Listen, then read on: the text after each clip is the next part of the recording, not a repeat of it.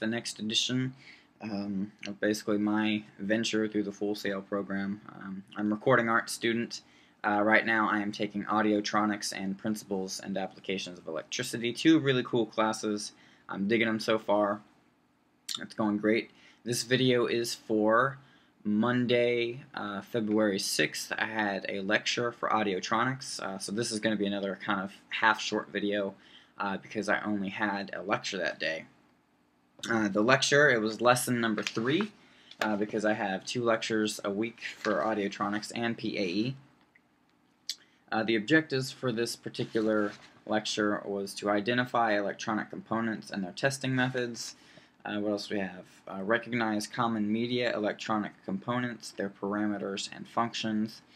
And lastly, develop soldering skills for performing work on printed circuit boards. Alright, so this this lecture was all about the components and we're talking like I've got a grand list here you know your jumper wires resistors variable resistors capacitors switches fuses inductors transformers uh, relays diodes LEDs bipolar transistors FET transistors voltage regulators and op amps we went over every single one of these that day. Um, uh, and that was pretty much it. I really can't say much more than that. Um, like this is what the first page kind of looked like. So there was some some stuff before that, like uh, the difference between an active and passive component.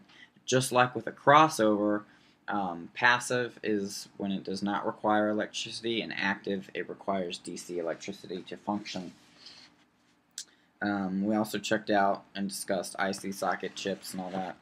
Um, but uh, the bulk actually the entire lecture was about this chart right here.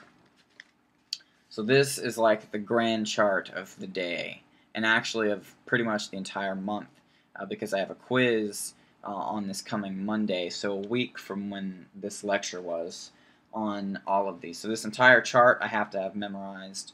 Um, the hardest part is matching up the units with the particular component like the pictures and the symbols and the PCB lettering, that's fine.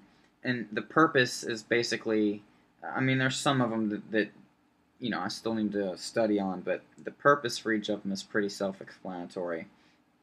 But the units are what's kicking my butt, so I'm really going to have to crack down this weekend and study hard um, to get this chart down. Um, yeah, and they gave us, like in the book, we've got like a blank chart to practice on, but I think I'm going to scan this into the computer and practice that way. I, I got my notebook here.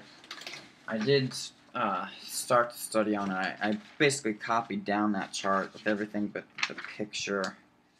You can see that here. I was, I was studying on it, kind of drawing the symbol and everything. So, um, am working on it. It's it's not too tough, but uh, you know, it's just a lot of information. And then, so let's see. So this video is for Monday. So the next, so today, on this Monday, we had a lecture, and then on Wednesday, this coming, well, the next lecture is going to be the midterm, which was earlier today. I'm filming this on Wednesday, but uh, yeah, the, the midterm. He basically gave us like a midterm study sheet and everything, and um, it wasn't like it wasn't like you expect because it didn't really have questions on it, but it just just told you what to review. Um, and some of the things on the midterm, like I'll kind of we'll run we'll kind of skim over this real quick. Midterm study sheet. Like some of the things were like um, know balanced XLR connector pinouts. Um, know what material solder is made out of and what rosin is. Uh, what does AWG stand for? Uh, what is an oscis, os, an O-scope measure? Uh, lots of different things. Um, obviously, it's just stuff that we've covered in the past week and a half, basically.